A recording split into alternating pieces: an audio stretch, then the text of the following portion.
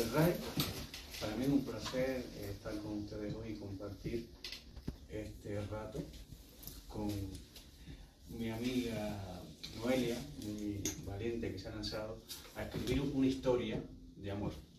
A mí me gustaría preguntarles, ¿qué persona de las que están aquí no ha sufrido por amor? ¿Quién no se ha enamorado? ¿Quién no ha deseado o ha estado hurgando durante años para buscar ese, esa media naranja que tanto nos vende los medios, ¿no?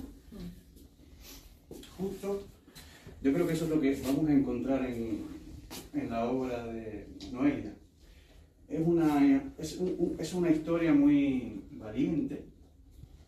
Yo creo que principalmente destaca por la humanidad de sus personajes. Cuando empezamos a leer la historia de Magali,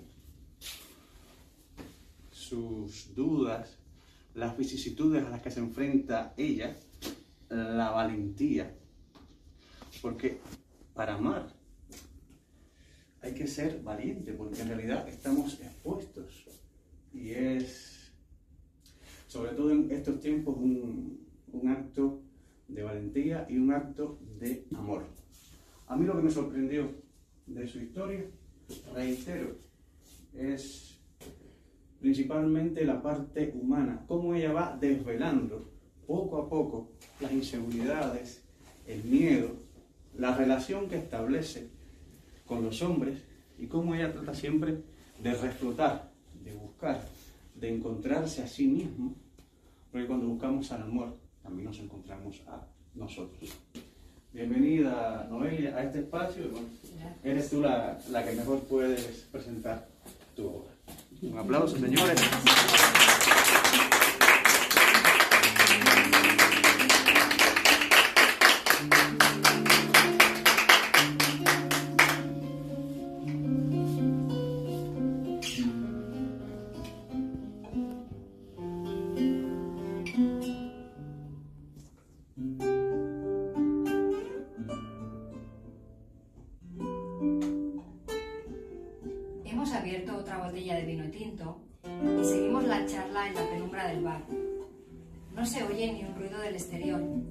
Solo nuestras voces, que son casi susurros, a pesar de que la música de fondo hace mucho que la dejamos de escuchar. Nos ponemos íntimos cuando me cuenta que tiene dos hijas gemelas preciosas de cuatro años, Marta y Sofía, y que lleva como puede eso de ser padre, pues las ganas de serlo no garantizan que sea un trabajo plácido.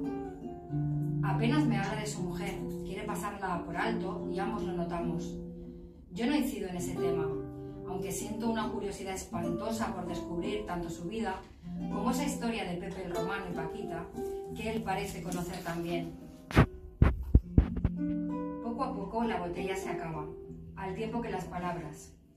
Y sin pensarlo, nos estamos besando como si fuéramos dos adultos rotos de dolor, con la premura y la avidez del que convive mucho tiempo con la melancolía y necesita huir de sus fieles ataduras. Así hacemos el amor, liberando en cada caricia la parte de la tristeza que tanto nos pesa, y al acabar, negando cualquier reflexión que vulnere nuestra paz. Nos vestimos en silencio, pero tan cómplices que la sensación ahoga por evidente. Conscientes de la complejidad que conlleva esta nueva situación, hemos decidido tener un segundo encuentro. No me ha contado casi nada de su abuelo Pepe. Solo por eso, simplemente por eso, deseamos vernos y explorarnos otra vez.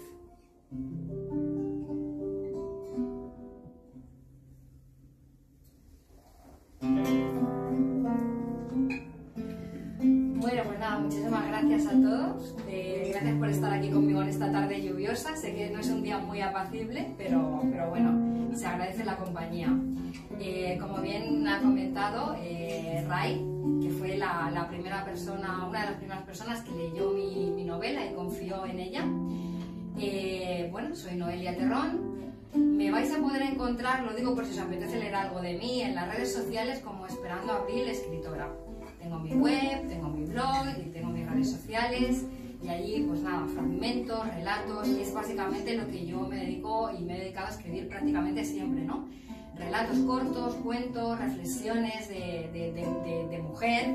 Yo siempre digo, reflexiones de una mujer madura, ¿no? No sé hasta cuánto de madura. Pero en cualquier caso, bueno, también he escrito algún poema, eh, no es lo mío, pero es, es lo que me gusta realmente, ¿no?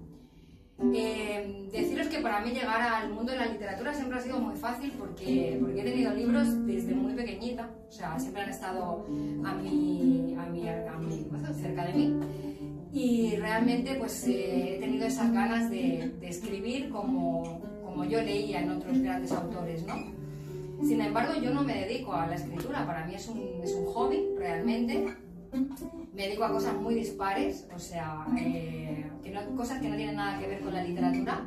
Pero bueno, yo creo que esto, no sé si es un don o no es un don, pero por lo menos es como yo quiero expresarme en el mundo y por eso me dedico, me dedico a escribir, ¿no? Es, mi forma de darme a los demás de alguna manera, ¿no?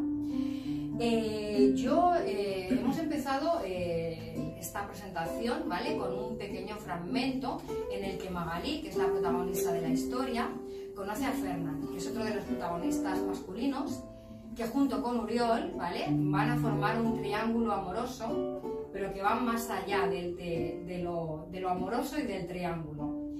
De todas maneras, yo empecé a escribir esta novela no pensando en Magali, sino pensando en Yolanda, que es otra de, de, las, de los personajes femeninos, y de ella quiero, quiero hablaros ahora.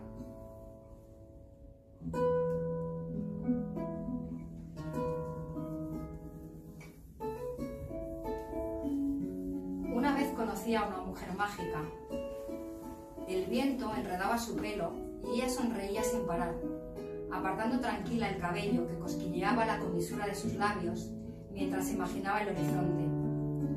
De vez en cuando miraba hacia atrás y me observaba complaciente con la oscuridad de sus ojos, negros como azabache, cuando pensaba que dormía en aquella vieja hamaca a la orilla del lago.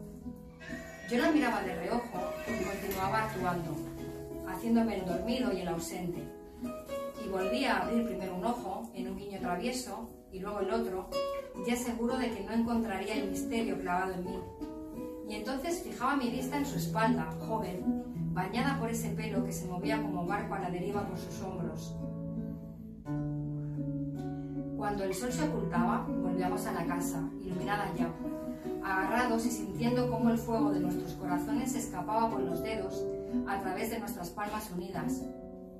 Nos quitábamos la escasa ropa casi en la entrada, y sus pezones, al descubierto, endurecían mi sexo con solo mirarlos.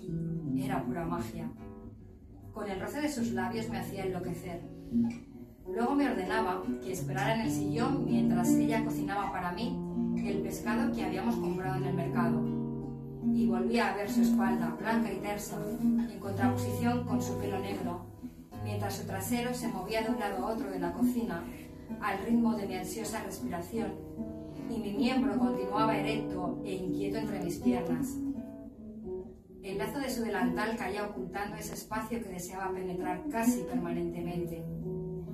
Y de nuevo ella se giraba para vigilarme y asegurarse de que no me escaparía de ese sillón para rodearla con mis brazos y amarla hasta llorar.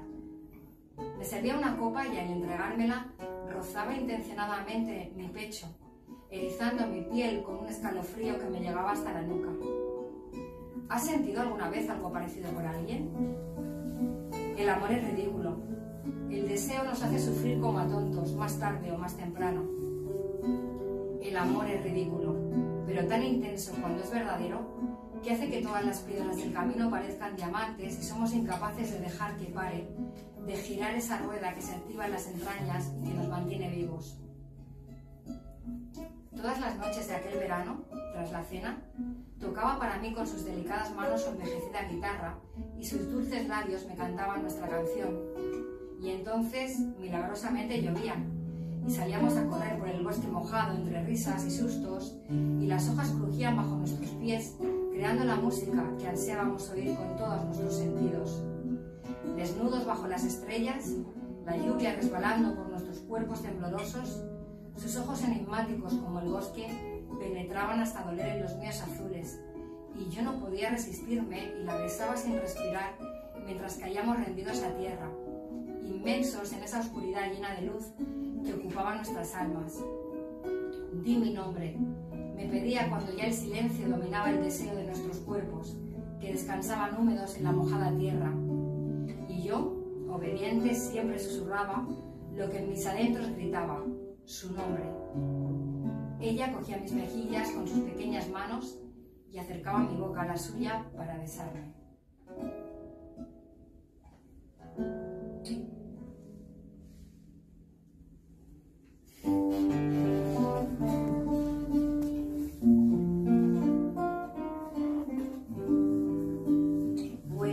Comentaros que Yolanda iba a ser la protagonista de la historia, pero resulta que apareció Magalí. Esta historia está narrada en primera persona, Magalí va a ser la narradora de esta historia de Yolanda y de dos historias más que hay entrelazadas. Pero claro, entiendo yo que al escribir en primera persona, pues eh, Magalí empezó a coger eh, su propio vuelo, su propia eh, autoridad y dijo, esta historia es mía. Se comió al personaje de Yolanda, ¿no?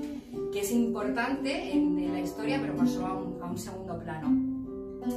Nos encontramos con una Magalí que rompe, rompe esquemas, ¿no? Ella no se queda en lo superficial.